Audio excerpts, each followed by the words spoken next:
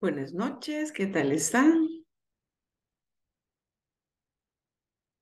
Buenas noches, muy bien, gracias. Buenas noches, Lick. Buenas Buenas noches, compañeros. Todo bien, gracias a Dios.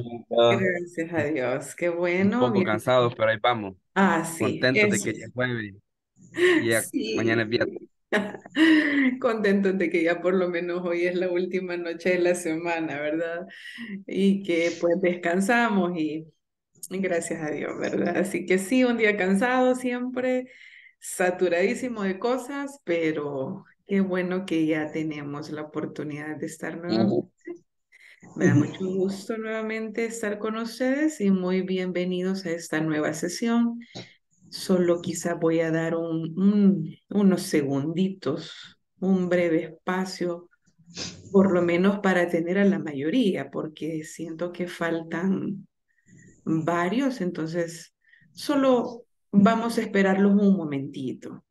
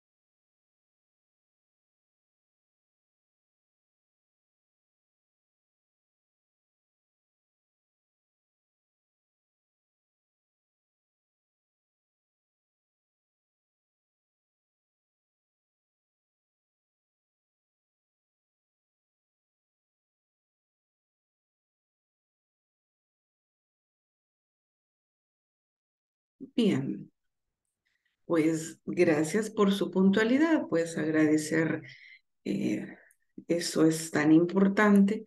Recuerde el tiempo de conexión, ¿verdad? Sabemos que pues algunos compañeros quizás no han llegado realmente, quizás porque no está como dentro de sus manos estar a tiempo, pero vamos a hacer todo lo posible, ¿verdad? Por, por estar a tiempo. Así que vamos a iniciar el tema correspondiente para este día, funciones y fórmulas.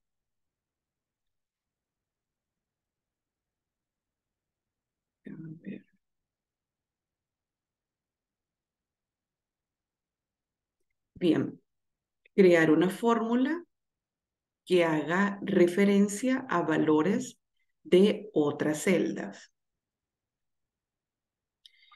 Eh, quizás a manera un poco más de introducir, eh, usted puede encontrar más teoría en la plataforma, ¿verdad? Allí donde se diferencia, por ejemplo, igual, ¿verdad? En la práctica vamos a ver esas diferencias entre fórmulas y funciones. Lo primero que aprendemos a hacer son fórmulas porque matemáticamente vamos asociando exactamente esa operación aritmética que necesitamos hacer. Entonces nosotros matemáticamente comenzamos a resolver en Excel mediante fórmulas. Luego vamos descubriendo que a medida vamos utilizando fórmulas, nos vamos dando cuenta que quizás es una manera como un poco más larga y las funciones lo que vienen a hacer es a acortar ese procedimiento o ese proceso. Entonces una función viene como a absorber una fórmula y eso algunas veces sale mucho más fácil en la mayoría de los casos. Claro, algunas veces no es necesario quizás utilizar funciones porque las operaciones aritméticas no requieren de tanto proceso. Pero sabemos bien que debemos seleccionar una celda y que tanto una fórmula como una función la vamos a iniciar con el signo igual. Y aquí hay una nota aclaratoria que las fórmulas de Excel siempre comienzan con el signo igual. Se selecciona entonces la celda y se escribe la dirección en la celda seleccionada. Entonces, en el ejemplo del número 3, vemos que hay una venta, hay un gasto general y un beneficio de un determinado mes.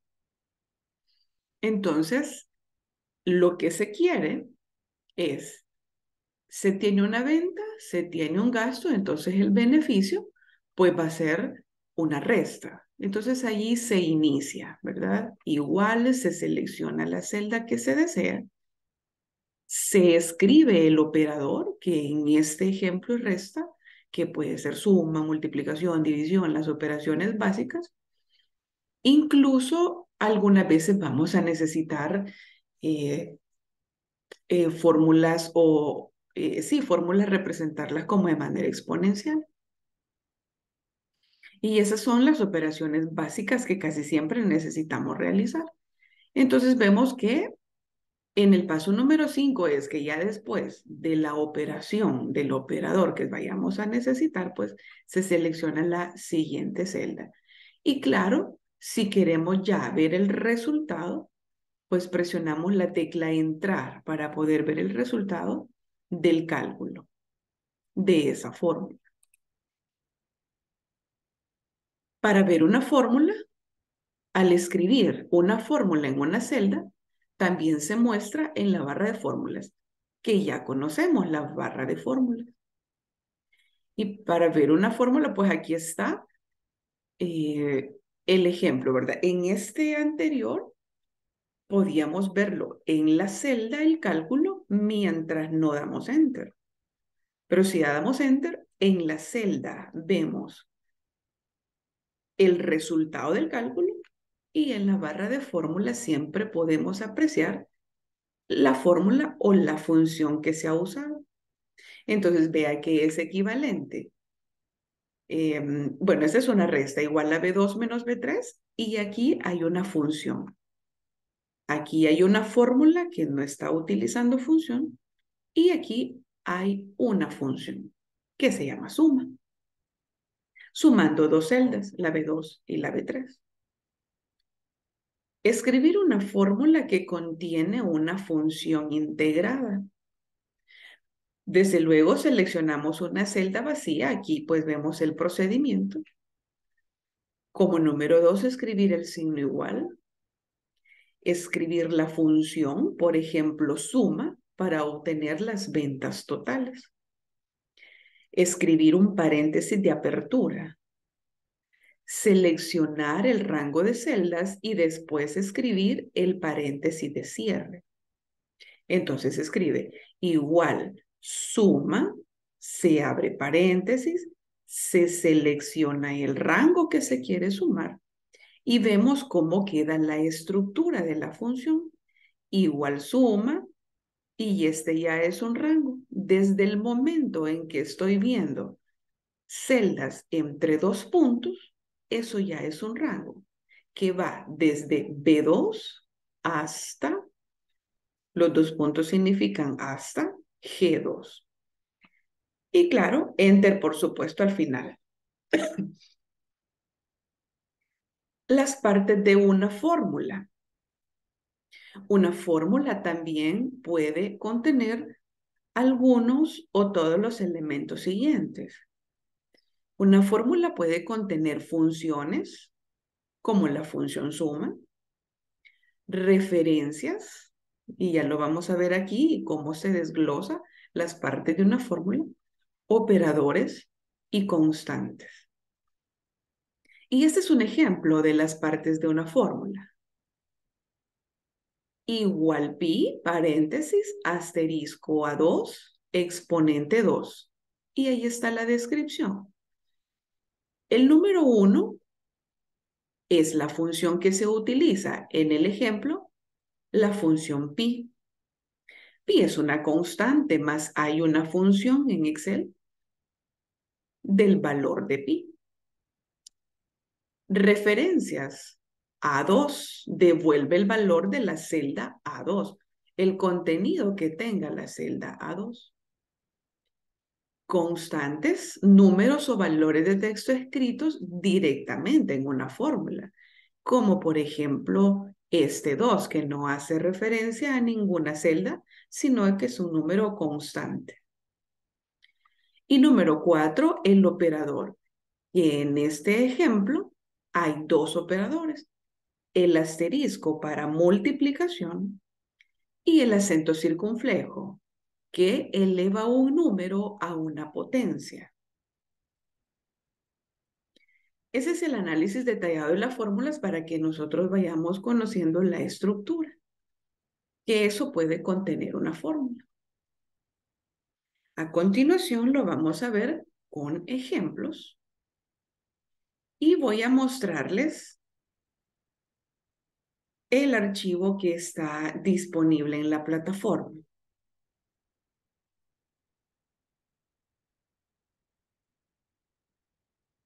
Tenemos esa hoja de práctica, que son las operaciones básicas.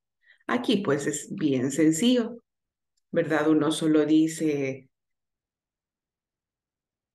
igual Usted lo puede empezar con igual. Ya hemos platicado que usted puede empezarlo con el signo igual o con el signo más, que no afecte en nada. Usted puede hacer esa suma.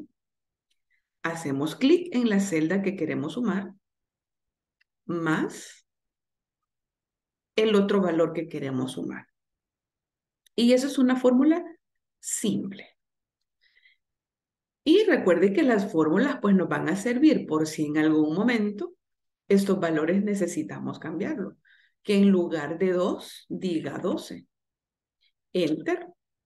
Y como aquí ya hay una fórmula haciendo referencia al valor de una celda, pues automáticamente ese valor va a cambiar.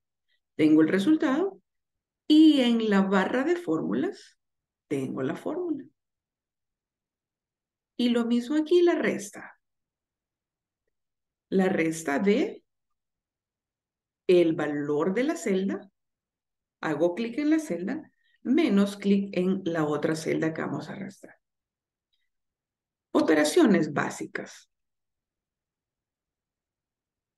Si yo pongo aquí un 45, allí voy a tener el resultado de la resta. Para la multiplicación, selecciono la celda, el asterisco para multiplicar en Excel y hago clic en la otra celda que voy a multiplicar. Y entonces, digamos aquí en lugar de 3 va a decir, por ejemplo, 9. Y pues automáticamente cambia el resultado del cálculo.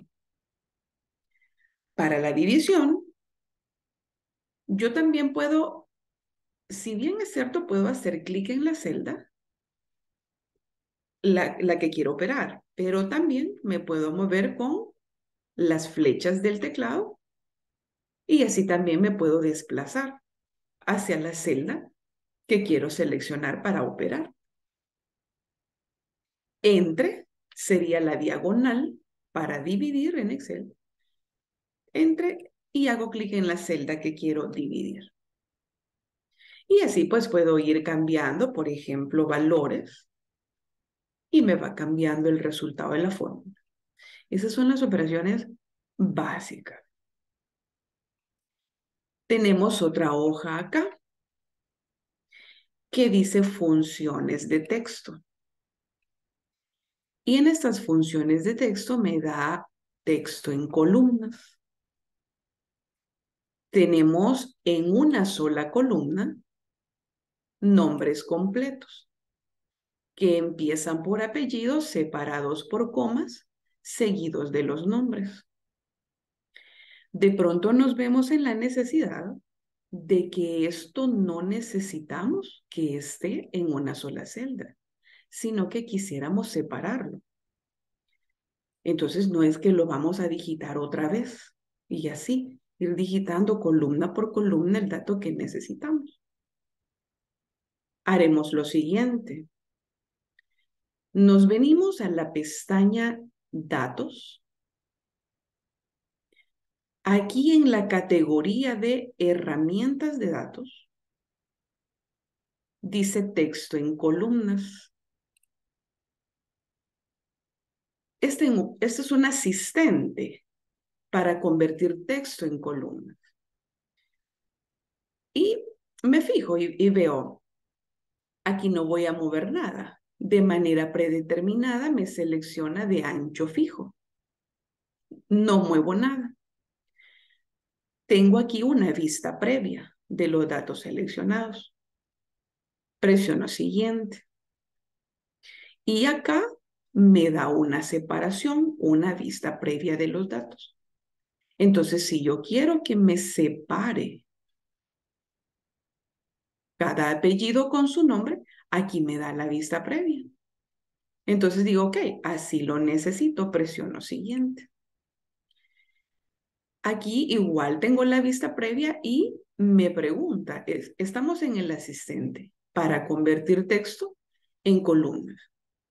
El formato de los datos pues es general, es el tipo de dato predeterminado. Y aquí tengo que decirle el destino, donde quisiera yo colocar ya los datos separados. Aquí dice que en B6, porque yo allí me quedé en esa celda, pero yo perfectamente puedo cambiar, hacer, ubicarme acá en destino y presionar la celda donde yo necesito esos datos separados. No voy a mover nada, porque la vista previa me parece que es como así lo quiero. Presiono finalizar. Aquí ya hay datos, dice. Es decir, aquí ya hay datos. Aquí en la columna B. ¿Desea reemplazarlos? Presiono aceptar. Entonces ahí solo lo hizo porque yo no seleccioné el rango de los nombres. Solamente me separó donde yo me quedé ubicado. Voy a presionar control Z, que es para deshacer la acción, pero vea usted que en ese dato de muestra me separó los apellidos y los nombres. Voy a presionar control Z, voy a seleccionar todo el rango que me interesa y voy de nuevo a pestaña datos, texto en columnas. Aquí vea que me apareció predeterminado el tipo de archivo que describa los datos con mayor precisión. Igual, yo puedo dejarlo con delimitados. Presiono siguiente. Y acá, en este paso, tengo que establecer el separador. ¿Qué es lo que está separando los datos? En estos datos no tengo tabulaciones. Entonces voy a desactivar ese separador tampoco hay punto y coma. Pero sí está separado por coma. En todo caso, usted aquí tiene la vista previa. Si yo le escribo que mi separador es la coma, mire que lo que hace es separar justamente el sector antes de la coma y después de la coma. Y si yo presiono espacio, hace eso. Usted ahí tiene la vista previa de lo que vaya a necesitar. Si usted los nombres únicamente los quiere solo en dos columnas, separados por los dos apellidos y los dos nombres, aquí está la vista previa. Pero usted dice, no, todo, que me quede separado, primer apellido, segundo apellido, primer nombre, segundo nombre. Entonces ahí usted lo ve, como lo necesita. Presionamos siguiente. Y aquí me dice, ¿dónde lo necesita? Puede ser que ustedes digan, no quiero modificar los datos originales, quiero que esa columna se conserve, solo quiero la separación a partir de acá. Aquí vamos a tener un problemita, pero lo vamos a hacer. Vengo acá, le borro ese destino, si quisiera conservarlo. Si no lo quiero conservar, simplemente empiezo en B6. Entonces el destino, digamos, no, quiero conservarlo y quiero que empiece de aquí. Ahí está el destino. Ahí tiene la vista previa. Presiona finalizar.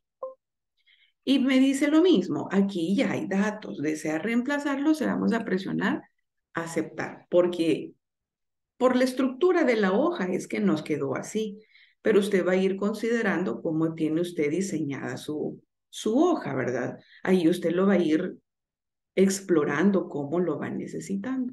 Entonces nos quedaron los nombres como tal originalmente y aquí está la separación.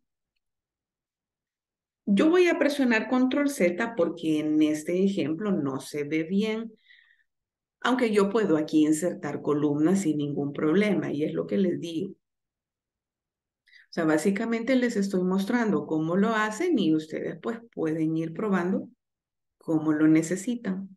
Entonces voy a ir nuevamente solo para que me quede para que no me, se me pasen los datos.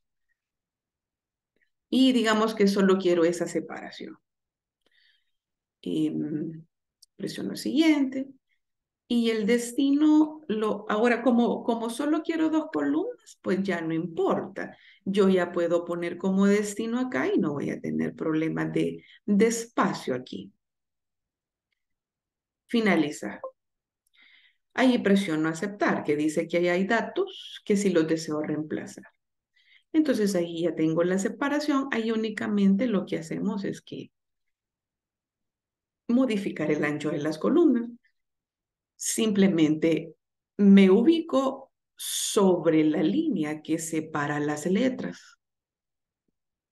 Los tipos de puntero es bien importante que los identifiquen.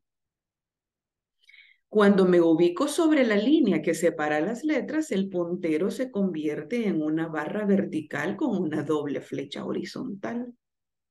Entonces, si presiono doble clic, automáticamente la columna se ajusta en el ancho. Y lo mismo voy a hacer acá. Doble clic para que el ancho de la columna se ajuste automáticamente al texto. Entonces ahí está como una forma que usted puede separar el texto en columnas. En este ejemplo, dice que vamos a concatenar. Aquí sucede lo contrario.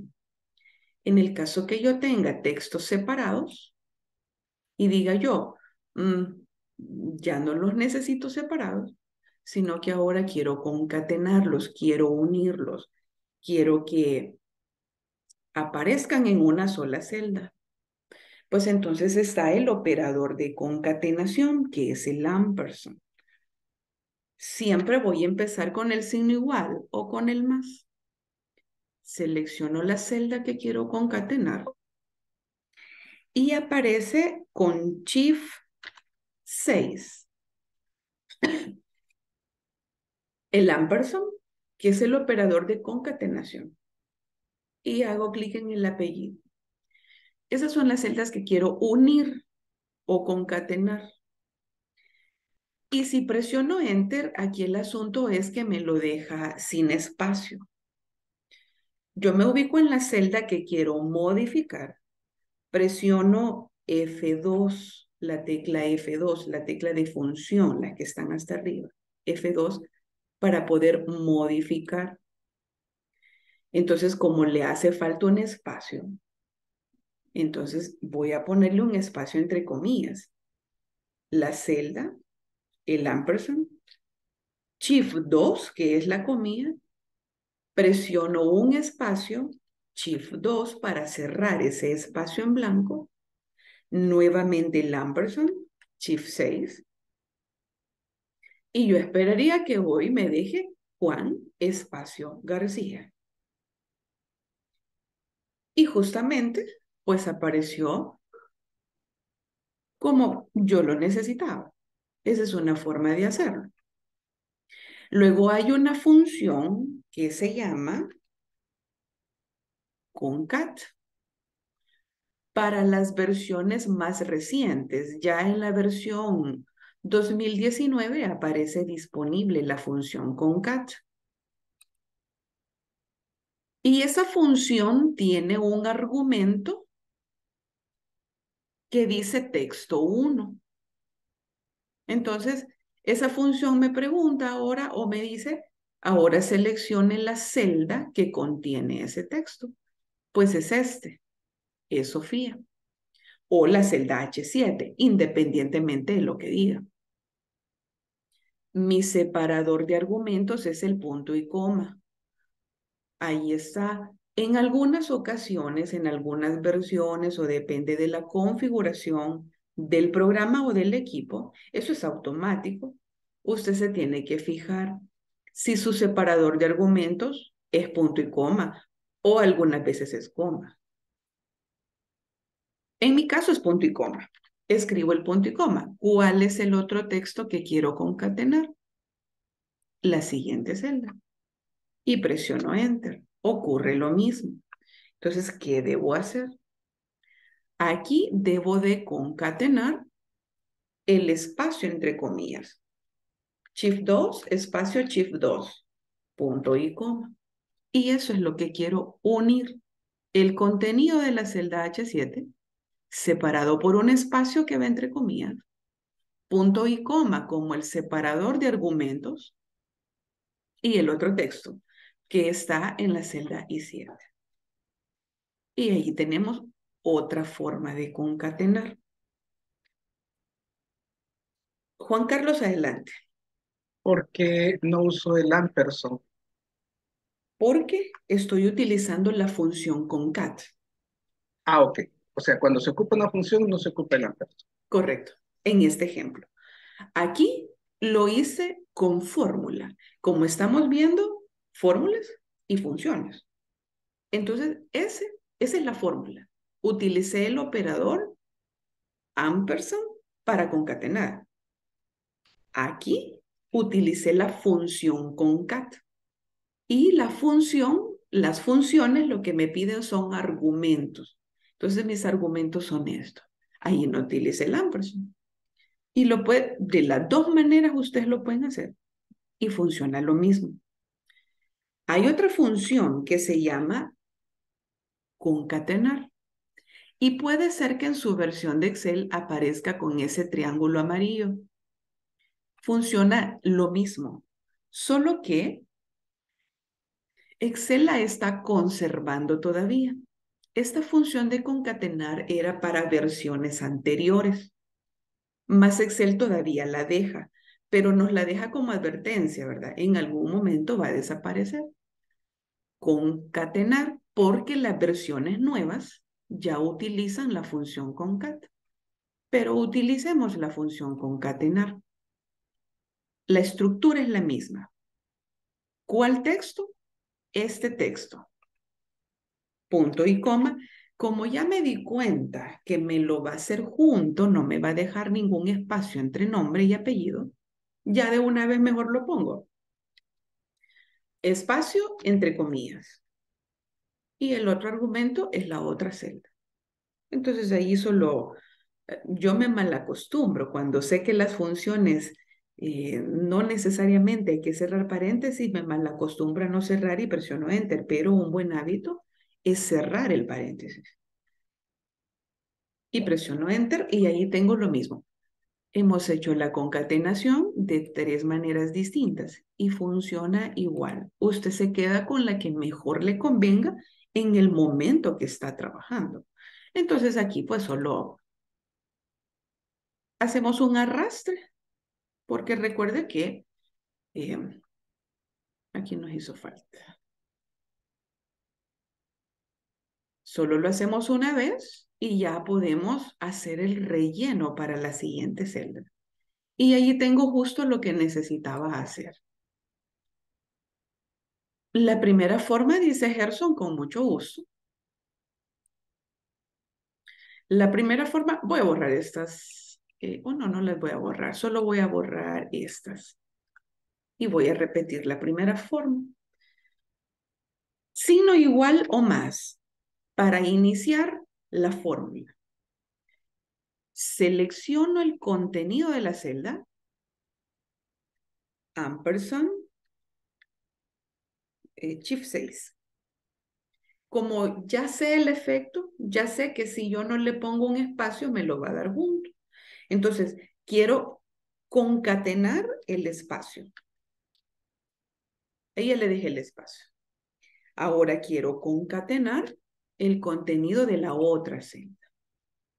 Entonces ahí pues ya tengo que el contenido de H9 me lo va a unir o concatenar a un espacio en blanco concatenado a la celda I9.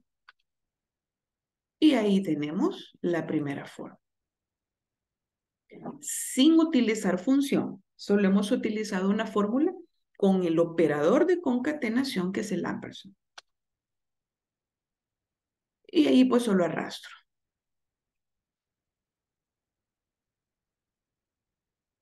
¿Sí?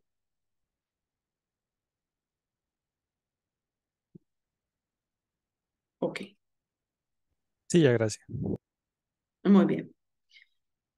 Entonces esto es como al revés de esto, ¿verdad? Luego están algunas fórmulas de texto. Juan Carlos, adelante. Eh, haciendo un paréntesis de esto, cuando usted puso las operaciones sencillas, las básicas, ¿por qué donde estaba la división, donde había puesto el enter, aparecía un triangulito rojo? Ah, es un comentario. Dice este comentario que es un símbolo. Creo que a veces los comentarios nomás los ponen como para que quizás nosotros prestemos atención. Quizás en este caso nos deja el llamado de atención para como para que no nos vayamos a confundir, entiendo yo el comentario, porque el comentario solo dice símbolo. Eh, como para que no vayamos nosotros quizás a, a confundirnos, a tratar de buscar en Excel este símbolo de división. Matemáticamente, ajá, matemáticamente para nosotros es familiar, pero para Excel la división es una diagonal, ¿verdad? Ok, gracias. Esta, esta cosa se me... Estoy presionando la diagonal y, y, me, y me activa otra cosa ahí arriba, pero vamos a ver acá. Como si se me hubiera cambiado la configuración, pero vamos a ver. Yo lo hago. Ajá, ahí está la diagonal. Entonces, entendería yo que nos han dejado ese comentario para eso, ¿verdad? Entonces, ese triangulito rojo indica que hay un comentario que pues alguien lo puso para que eh, quizás prestemos atención y no nos vayamos a confundir. Bien. Okay, gracias. Ah, sí, un gusto. Eh, luego tenemos las fórmulas de texto, mayúscula, minúscula, tipo oración y nombre propio. Estas dos, pues ya vamos a fijarnos que son, funcionan igual. En mayúscula, si quiero convertir, alguien de ustedes hizo esa pregunta en una clase anterior.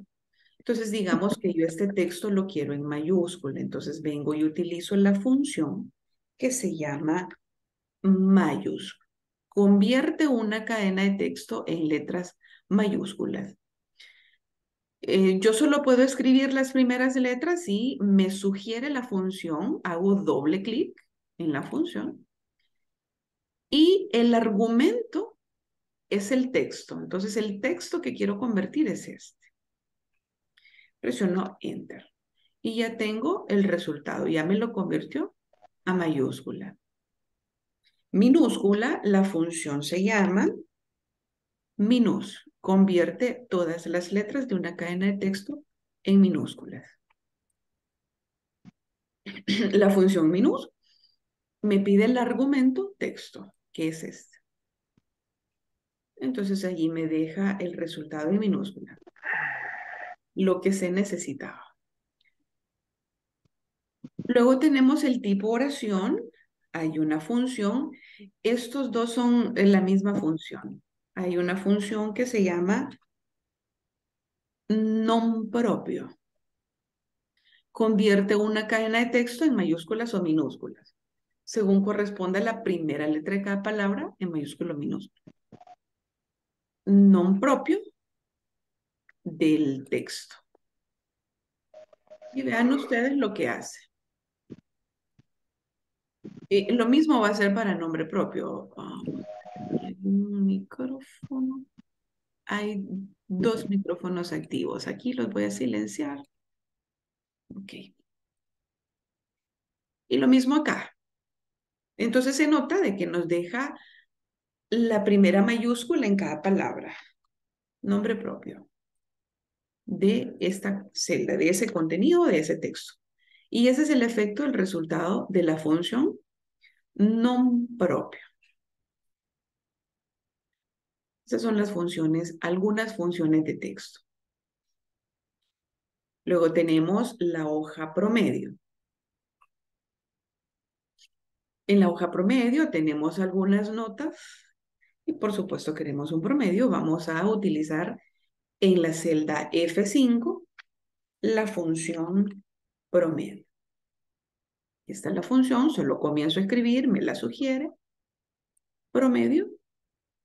¿De cuáles números? Pues puedo seleccionar el rango de una vez.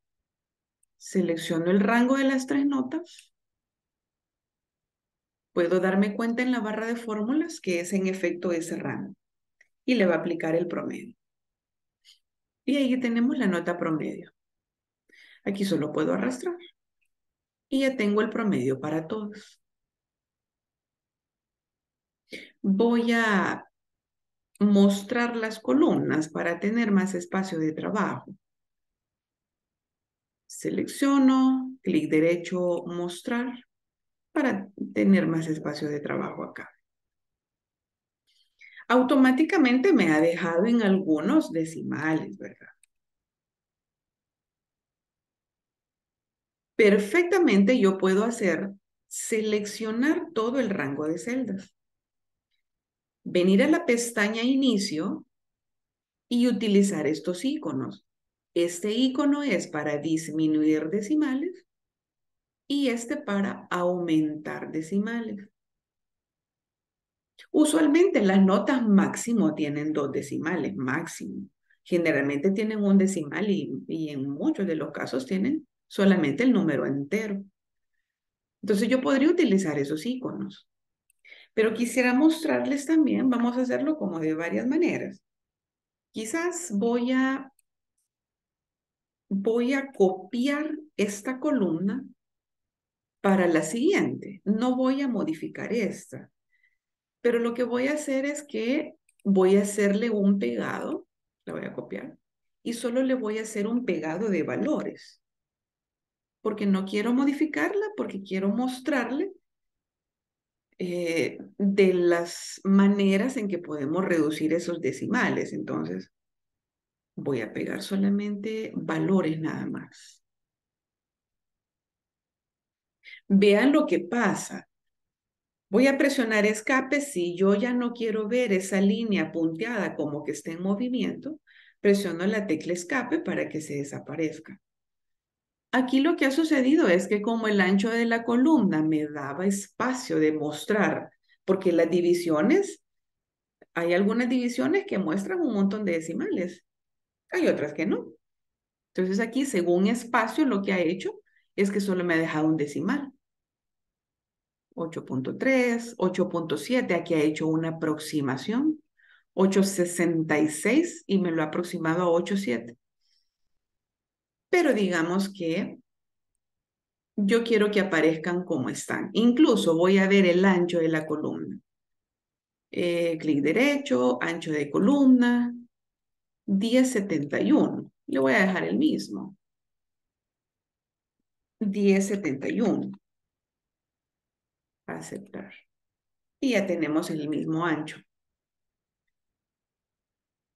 Voy a estar copiando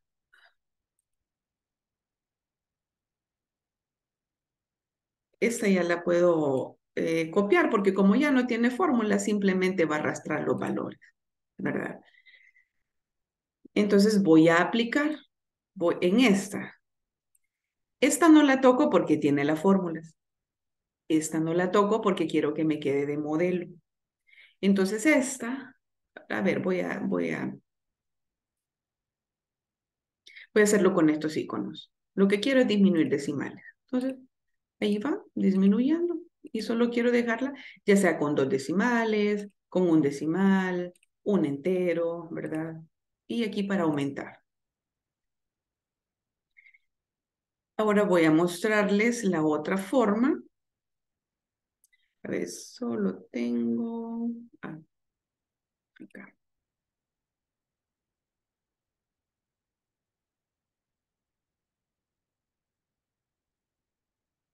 Obviamente lo quiero sin decimales, pues eh, simplemente hago lo que, les, lo que les mostré con estos iconos. Y, por ejemplo, si yo quiero utilizar una función y le voy a poner aquí, por ejemplo, redondear, hacerle minúscula para llevar el formato, redondear a cuatro decimales. A esta celda le voy a hacer un ajuste para que no me aparezca y no me abarque hasta la siguiente, ¿verdad? Entonces apliqué este icono para ajustar texto. Aquí hay más de cuatro, entonces yo quisiera que solo me aparecieran cuatro decimales nada más, entonces voy a utilizar una función que se llama redondear. Ahí está la función redondear y me dice de qué número. Aquí puedo mm, seleccionar esta celda, por ejemplo. ¿Y cuántos decimales quiero? Quiero cuatro. Ahí están los argumentos. De ese número quiero cuatro decimales. Entonces aquí, claro, como es un número entero, pero vamos a ver qué pasa con las demás. En efecto, solo me dejo los cuatro decimales en los números que tienen decimales.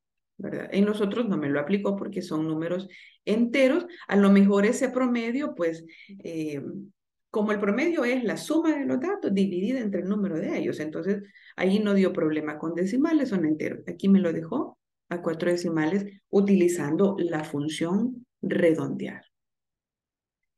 Ahora hay otra función que se llama truncar. Digamos, Aquí ven que lo aproximó, en el cuarto decimal lo aproximó. Métodos de aproximación que usualmente conocemos. Pero digamos que aquí quiero truncar a cuatro decimales. Aquí igual voy a hacer un ajuste de texto para que no se pase. Voy a hacer un ajuste.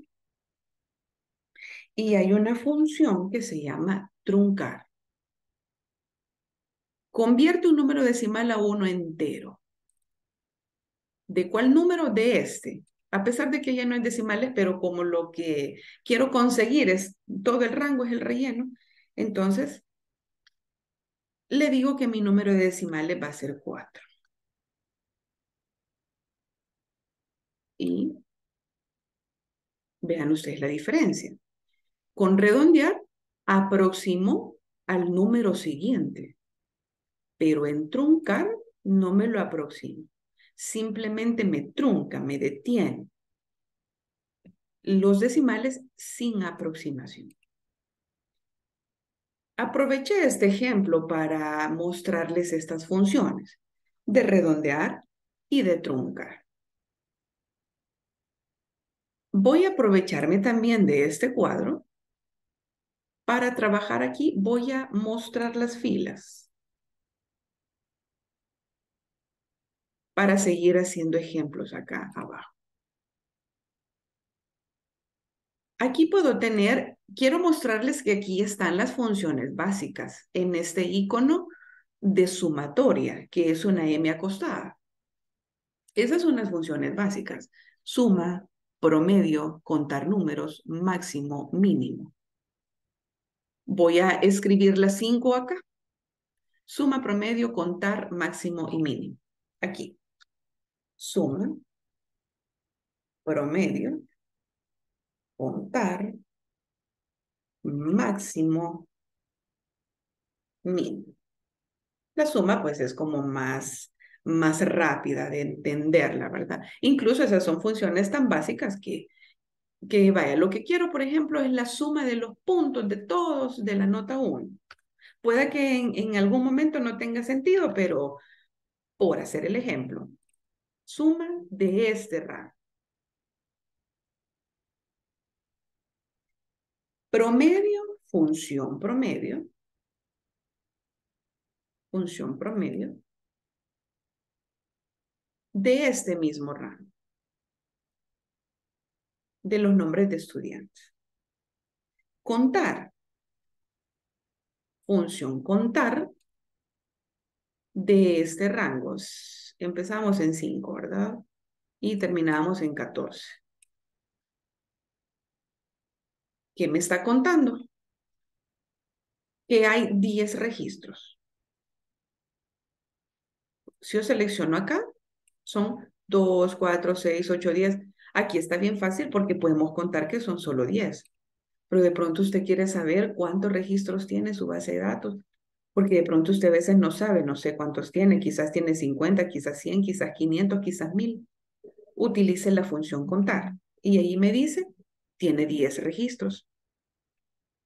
El máximo, la función max, aquí automáticamente me selecciona de la C5 a la C17, pero no, nuestro rango, queremos saber quién fue la nota máxima de la nota 1. Pues alguien que tiene 10, ¿verdad? Y ahí visualmente eso es bien fácil verlo, pero con esta función usted se da cuenta que la máxima nota es de 10. ¿Y cuánto es la mínima nota? Función min del mismo rango. De C5 a C14. Y la mínima nota es de 4, de la nota 1. Entonces, lo mismo quisiera saber yo. Solo verifico, ¿verdad? Esta es la suma de puntos de la nota 1, promedio de la nota 1. Me voy fijando en la barra de fórmulas cuántos registros hay, cuál es la máxima nota y cuál es la mínima nota. Entonces quiero hacer eso para las tres notas. Selecciono lo que ya sé que funciona y aquí lo arrastro.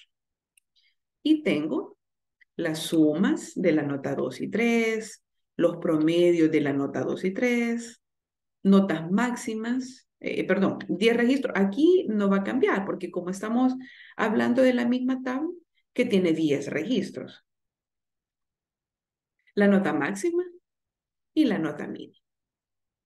Que de pronto pongo yo aquí un 2 y me cambia que la nota mínima es de 2.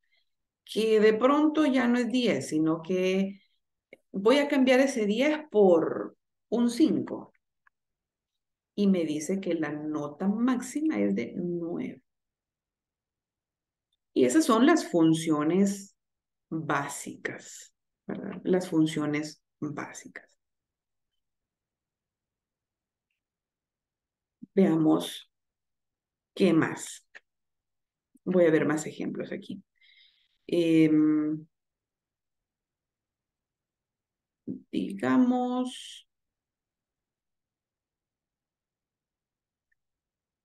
A ver, estoy viendo aquí como más prácticas.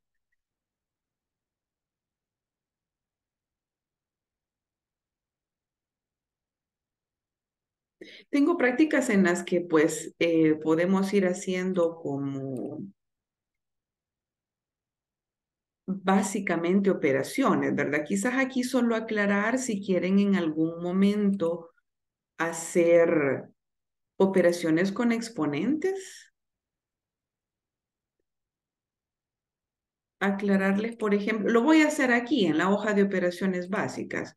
Digamos que quiero elevar un número 2 elevado al cubo, solo para explicarles que el acento circunflejo, que es ese, digamos elevado a la 3, eh, le, va, le va a salir con la combinación de teclas de Alt más 94. En el caso que tengo un teclado eh, donde no le aparezca, hay en algunos que sí les aparece ese tipo sombrerito, se llama acento circunflejo para la potencia. Pero si tiene un teclado grande, con el teclado numérico aparte, le va a aparecer con Alt 94. Entonces allí digo 2 al 94 porque lo quiero elevar al cubo, 2 al cubo. Y ese es el resultado que da 8.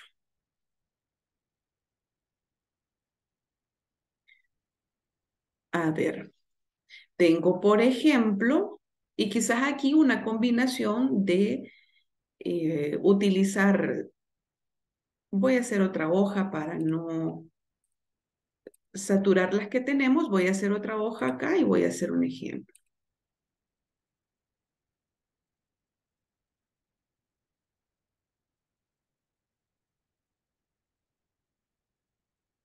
Por ejemplo, tenemos países, cantidades y porcentajes, digamos. Países, cantidades y porcentajes.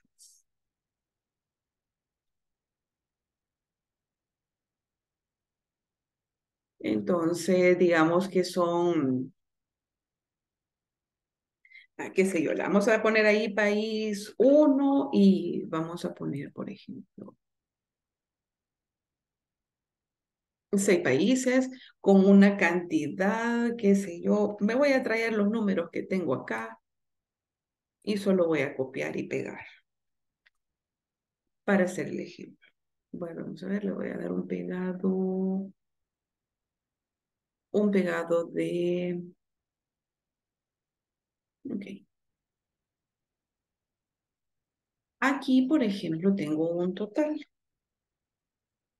Ya el total, pues ya sabemos nosotros que aplicamos una una suma. Si quieren ustedes hacerlo, creo que esto ya lo hablamos también, que si quieren hacer una suma así súper rápida, aquí les aparece el atajo, que para la suma dice que usted puede presionar Alt más igual, más yo presiono Alt Shift igual. ¿Y por qué con Shift lo tengo que combinar yo? Porque como con Shift 0 me muestra el signo igual, entonces yo por eso hago la combinación de Alt Shift igual y automáticamente me sugiere si eso es lo que quiero sumar. Y sí, ¿verdad? Eso es lo que quiero sumar y presiono Enter. Y aquí vamos a hacer una práctica del tema anterior. ¿Cómo saco porcentajes? El porcentaje nos va a salir de esta cantidad dividida entre el total. Pero aquí le tengo que poner porcentaje, ¿verdad? El formato porcentaje. Puedo hacer dos cosas voy a darle control Z. Como eso fue una simple división, entonces yo puedo aquí multiplicar por 100 para que automáticamente me dé el porcentaje. O, mire que allí realmente el porcentaje dice que es 9.5. Pero como, em, digamos, yo hice una simple división y solo vine aquí a aplicar el estilo porcentual. Dice que da un 10%. Recuerde de esto, ¿verdad? Si yo quisiera aumentar decimales, pues ahí me voy dando cuenta. De pronto necesitamos quizás como un número más exacto o si queremos un número aproximado, pues no importa. ¿Qué sucede si yo esto lo arrastro? Recuerde que no podemos dividir entre cero. ¿Y qué va haciendo? Como yo no eh, me fue haciendo eso y que eso usted, ya para usted, esto ya no es novedad. Esto lo tiene que arreglar. ¿Y cómo lo va a arreglar? Aprovechando, preguntamos, ¿cómo lo arreglamos?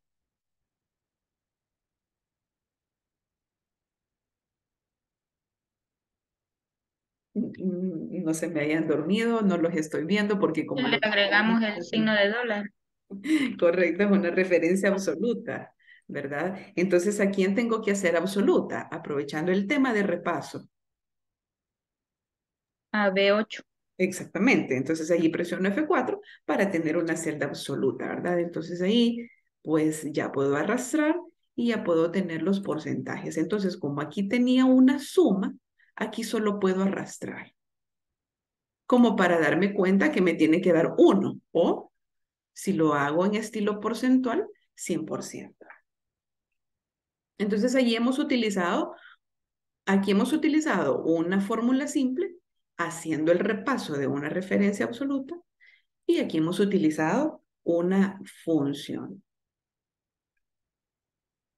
Veamos, aquí tengo otro ejemplo.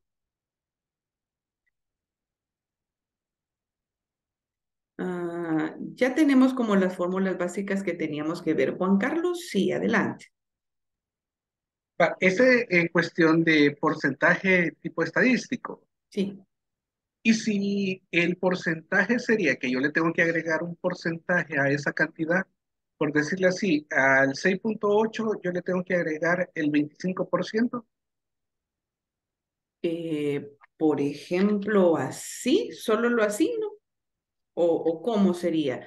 Es decir, ¿cuánto sería 6.8 más un 25%? Ah, correcto. 20, lo voy a escribir ahí, 25%. Lo voy a escribir así, porque mire que automáticamente le voy a dar control Z para que lo logren ver. Como la, el formato predeterminado de la celda es general, entonces yo escribo un 25 y pues eh, no pasa nada, me lo toma como número. Pero si yo lo escribo el 25%, si lo escribo y presiono Enter, pues mire que automáticamente la celda me la ha dejado como porcentaje, entonces ya no hay ningún problema. Entonces yo le quiero aumentar al 6.8, aumentarle un 25%.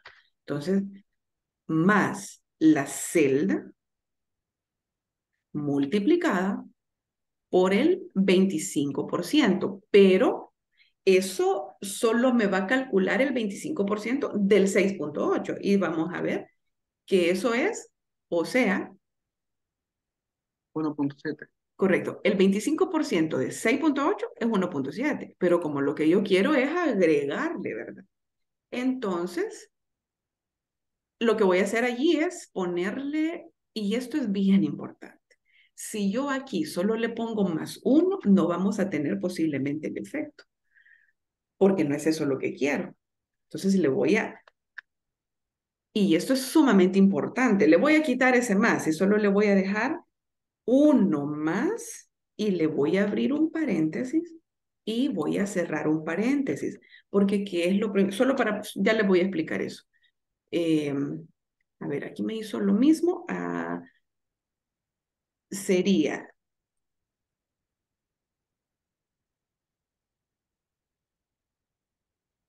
sería que yo tengo que hacer la suma, a ver, esto ya es más cuestión de matemática, más que de quizás un planteamiento de fórmula en Excel. Yo ya sé que él es 1.7. ¿Cuánto sería? Aquí lo voy a hacer aparte. Esto más esto. 8.5 tendría que lograr que me dé, ¿verdad? Entonces, ahí lo que tendría que hacer es eh, calcular y decir esta misma celda más lo que me salga de ese porcentaje. Entonces, importante este plan. Le voy a dar y después, después se lo explico. Y ahí está lo que necesitaba. Esto cambió porque yo hice una referencia, pero esto en realidad no le hagamos caso ahorita a esto. Esto es lo que esperaba que me diera. Entonces digo, ok, la misma celda sumada a esa celda calculándole el 25%. ¿Y por qué lo puse en paréntesis? Porque lo primero que quiero que haga es el cálculo del porcentaje y después le quiero sumar el 6.8. Esto, bueno, digamos que en ese ejemplo puede ser que no sea necesario colocar paréntesis porque Excel lo primero que va a hacer, nosotros a simple vista podemos decir B2 más B2 por D2 y no nos va a dar lo que queremos, pero Excel interpreta, para él la prioridad es la multiplicación. Independientemente que yo le escriba paréntesis o no le escriba, Excel va a realizar primero la multiplicación y después va a ser la suma. Y esa es una jerarquía de operaciones. Entonces ahí está el 6.8 más el 25%, que es este. Entonces para Excel, lo primero es lo que encuentra. Si encuentra paréntesis, eso es lo primero que hace. Pero si no encuentra paréntesis, lo primero que va a venir a realizar es la multiplicación y la división. Y quizás se lo voy a dejar aquí. Ya es noche, pero se lo voy a dejar aquí, en la jerarquía de las operaciones, primero son los paréntesis. Primero paréntesis, luego la multiplicación y la división. Luego, eh, perdón, aquí me salté el exponente. Luego la suma y la resta. Esto es, aquí me está diciendo, aquí lo que voy a hacer si yo doy enter a eso, me está diciendo que la fórmula no está completa porque Excel cree que yo le voy a escribir una fórmula. Entonces, para que no pase eso, le voy a escribir un apóstrofo al inicio. Y ahora sí, le escribo un más y un menos para que me lo tome como texto. Ese apóstrofe al inicio es para que me lo tome como texto y no me esté pidiendo que no esté pensando Excel que como escribió un más voy a escribir una fórmula, sino que simplemente yo se los dejo que esto es bien importante que usted lo tome en cuenta. Esa es la jerarquía de las operaciones para Excel. Primero resuelve paréntesis, después resuelve exponentes, luego multiplicación y división y luego sumas y restas. Entonces ahí está, eh, creo que no sé si eh, se comprendió el punto con por lo menos lo que queríamos lograr aquí. Sí, gracias. De acuerdo. Bueno, les agradezco mucho. Les eh, sí, perdón, ¿algo más me decía? No, este, gracias porque me aclaró el punto, porque antes yo creía que cuando estaba el porcentaje, eh, ahora ya me aclaró de que el porcentaje es de que me va a expresar la cantidad como un porcentaje estadístico. Antes yo creía de que ese me servía para agregarle, digamos, a una cantidad, si yo le quería agregar el 11% o yo le quería agregar el 30%, me iba a dar ya la, eh, el resultado. Ahora vi que ya no es a través de un fórmula. Sin embargo, le voy a aclarar algo, que usted perfectamente lo puede hacer aquí. Este de 2, usted lo puede hacer como constante y escribir aquí 25% directamente. Usted puede hacer eso. Usted puede trabajarlo como constante y no hay ningún problema. Ajá. Ajá, no hay ningún problema. Usted puede hacer tal como lo lo acabo de hacer. Ajá. ahí se le puede poner el porcentaje que uno quiera y le va a dar el resultado. Exactamente. Exactamente. Ahí porque yo lo hice al principio con referencia, lo hice con dedos, pero usted puede escribir directamente el porcentaje y se lo resuelve. Gracias, me ha iluminado un montón. Excelente. Eh, miren que les he robado tres minutos. Muchas gracias por eh, no haberse desconectado. Creo que no se han salido. Algunas veces tenemos compromisos y por eso tenemos que ser puntuales. Así que muchas gracias por su eh, asistencia, ¿verdad? Y que pasen feliz noche, feliz viernes, feliz fin de semana y nos vemos el lunes. Gracias, buen fin de para todos. Gracias, Gracias buenas noches. Feliz noche. Nos vemos el lunes. buenas.